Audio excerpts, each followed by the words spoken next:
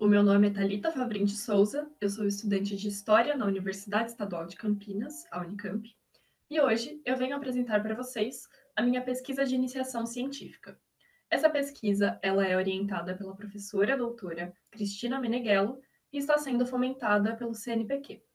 O título é Imagem e Horror, Fotografias da Libertação dos Campos de Concentração Nazistas. Bom, um pequeno guia dessa apresentação. Em primeiro lugar, eu gostaria de apresentar o tema, fazer então uma contextualização histórica do tema que venho pesquisando. Em segundo lugar, apresentar a metodologia, ou seja, quais são os principais teóricos que venho trabalhando e também quais são as fontes que venho analisando. Em terceiro lugar, eu vou fazer uma conclusão, um rápido apanhado de tudo que foi discutido, demonstrar os possíveis encaminhamentos dessa pesquisa e quais são os resultados esperados a partir dela. Vou começar então com a apresentação do tema.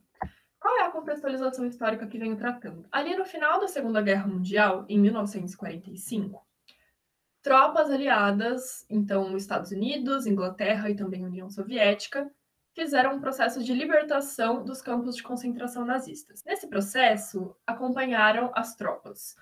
Fotógrafos, jornalistas e também civis foram obrigados a visitarem os campos após a sua libertação. A intenção de tudo isso era fazer com que ficasse registrado não só é, para as testemunhas oculares, ou seja, as pessoas que visitaram de fato os campos, mas aqueles que não puderam visitar, o que de fato ocorreu ali. Dentro desse contexto, é, eu foco principalmente na produção visual dos fotógrafos que acompanharam essas tropas, é, sobretudo as fotografias que foram produzidas e circuladas na revista Life. Qual é a questão? Essas fotos elas não foram somente produzidas, elas também tiveram uma ampla circulação no Ocidente. Elas circularam em revistas, uh, principalmente como a Life Magazine, mas em outras nos Estados Unidos e na Inglaterra também.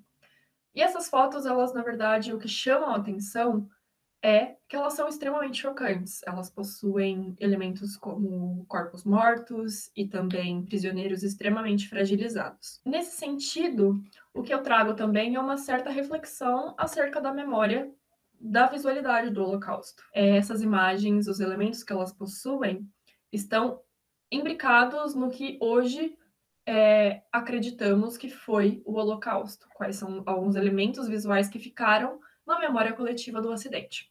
A partir então dessa contextualização, eu levanto seguinte, as seguintes problemáticas. Eu gostaria primeiro de pensar como que foi possível tanto a produção quanto a circulação dessas imagens extremamente chocantes naquele contexto. Em segundo lugar, então, é, gostaria de compreender quais foram os discursos que envolvem o processo, ou seja, tanto é, quais são os discursos que contém nessas fotografias e os discursos que justificam a publicação delas. Em terceiro lugar, trago uma problemática acerca da memória e gostaria de pensar como que essas fotografias foram cooptadas pelo coletivo e por que hoje elas estão associadas diretamente ao Holocausto, sendo que, na verdade, elas são imagens que foram produzidas após o Holocausto e já com a, com a intervenção das tropas aliadas nos campos. Partir agora para a metodologia e falar um pouco dos principais autores que eu venho trabalhando. Em primeiro lugar, eu gostaria de ressaltar a Barbie Zellizer. Ela é uma historiadora que eu me aproximo muito na minha pesquisa, principalmente em relação ao recorte dela. Bom, a Barbie Zellizer ela estuda não só a revista Life, mas também outras revistas nos Estados Unidos, na Inglaterra, e outras fotografias que foram produzidas dentro uh, do contexto do Holocausto e após ele. E também ela traz muito sobre a reflexão é, da memória e como essas fotografias foram ressignificadas com o passar do tempo. Ela vai trazer a ideia de que essa fotografia, ela se as fotografias de atrocidade, elas se construíram enquanto testemunhas dessa própria atrocidade. Então, elas se tornaram, nesse sentido, o principal veículo de discurso nas uh, revistas, na imprensa dos Estados Unidos e da Inglaterra é, principalmente em relação à revista Life, que propõe contar, fazer uma história através da fotografia, essas fotografias enquanto testemunha é essencial para contar o que foi o Holocausto do ponto de vista dessa revista. Essas imagens elas formaram uma memória coletiva das atrocidades e o impacto dessa construção, da consolidação dessa memória é, acerca do, da visualidade do Holocausto é que ela foi capaz, de certa forma, de neutralizar a nossa habilidade, nós aqui enquanto contemporâneos, é, a nossa habilidade de se sensibilizar frente às tragédias é, contemporâneas do nosso tempo. Quanto a isso, eu não adentro na minha pesquisa, mas acho interessante colocar, porque isso é, uma, é um argumento que não aparece somente na Barbie Zelizer, mas também na Susan Sontag, que é uma outra autora que eu trabalho. Mas o que ela vai dizer aqui que é importante e essencial à pesquisa? Ela vai dizer que a circulação dessas fotografias de atrocidade, elas foram possíveis por conta de uma certa falta de credibilidade do público na imprensa estadunidense. Após mais ou menos a Primeira Guerra Mundial, é, vem à tona imagens, fotografias que foram forjadas pela imprensa e notícias falaciosas. Nesse sentido, é, essa falta de credibilidade tenta ser trazida de novo a partir da publicação dessas imagens extremamente chocantes. É, então, a imagem ela passa a ser a fotografia da, da atrocidade, ela passa a ser é, uma certa de uma certa forma um, um autenticador da realidade, da verdade, da enfim é, tentam fazer essa relação direta entre fotografia e realidade.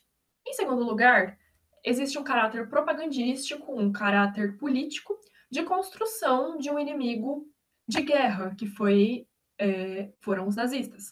Obviamente que eu não estou diminuindo o que foi o Holocausto, que sim, foi uma grande atrocidade, mas é, por trás dessas imagens, dessa, dessa produção visual, existe uma exaltação da figura do estadunidense, da figura dos aliados, frente é, ao inimigo nazista. Em terceiro lugar, eu gostaria de, de evidenciar, através do que a Barbie Zelizer diz, é que a libertação dos campos possibilitou uma ampla produção de documentação visual acerca dos campos de concentração.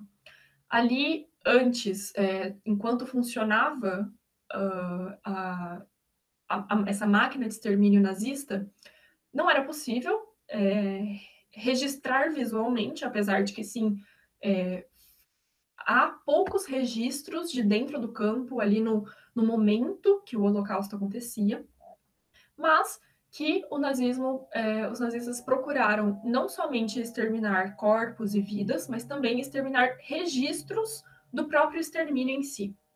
Então, são poucas a, a, a, as documentações, principalmente visuais, é, acerca do que acontecia dentro dos campos, tendo a solução final, propriamente dita, como referente.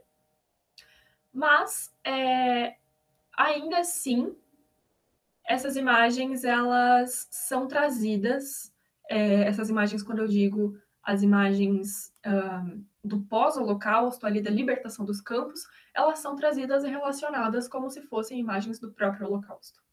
E sobre isso eu trago a segunda autora, que é a Judith Keilbach. Ela tem um artigo em que ela vai dizer justamente que essas fotografias ali da libertação dos campos, elas possuem um valor simbólico tão grande de representação, de pictorizar o extermínio, mas que elas não possuem, que elas são despidas de valor de verdade. Ou seja, elas não tratam do momento histórico holocausto, elas tratam do momento histórico libertação dos campos, que já possui a intervenção das tropas aliadas. E aí, nesse sentido, é, os vestígios, na verdade, o que se produz ali no pós-holocausto, tem como referente os vestígios, e vestígios também muito metonímicos, muito menores do que foi o holocausto em si. Nesse sentido, essas imagens ali do pós-holocausto, da libertação dos campos, não podem ser diretamente associadas ao que foi o holocausto, porque não se trata da mesma coisa. E aí, tem Gil Berman, que contra-argumenta essa ideia de impossibilidade de estudo do Holocausto através dessas imagens que não retratam o extermínio diretamente. É, ele vai dizer que essas imagens chegaram até nós e que são imagens sobreviventes, porque encararam uma máquina de extermínio é, que procurava exterminar não só as vidas, mas também o registro do próprio extermínio, e elas sobreviveram a esse extermínio.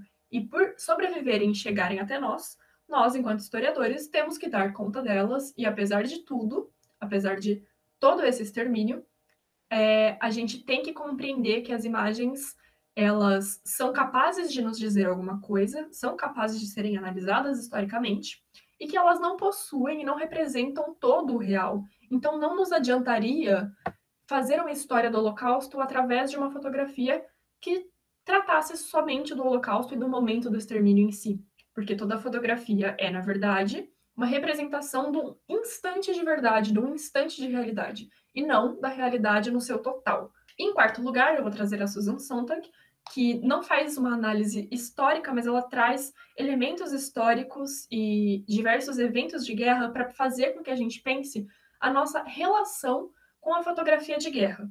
Ela vai dizer que desde os primórdios da fotografia, a fotografia flerta com a guerra e com os horrores da guerra e usa uh, a violência produzida pela guerra como referente. E ela vai dizer que a ampla circulação dessas imagens, dessas fotografias de atrocidade, faz com que nós é, sejamos tão bombardeados por ela que a gente fique insensível, a gente, que ficamos insensíveis, na verdade, a elas. É, são tantas essas imagens que elas não são mais capazes de nos provocar alguma coisa é, como alguma ação, alguma comovência porque essas imagens elas são circuladas, na verdade, com a justificativa de fazer, é, de nos ensinar alguma coisa, fazer com que esses conflitos e essas tragédias não se repitam. Mas ela vai dizer que o que acontece é o contrário e vai fazer um apelo para que a gente mude a nossa relação com essas imagens de atrocidade, porque já que elas existem, já que elas foram produzidas, que a gente, é, nós, enquanto agentes históricos, sejamos capazes de nos mobilizar e de pensar a nossa relação com essas imagens. Quais são as fontes que eu mobilizo? Eu mobilizo a Life Magazine, principalmente a matéria Atrocities, que foi a matéria que divulgou essas imagens que venho tratando até então.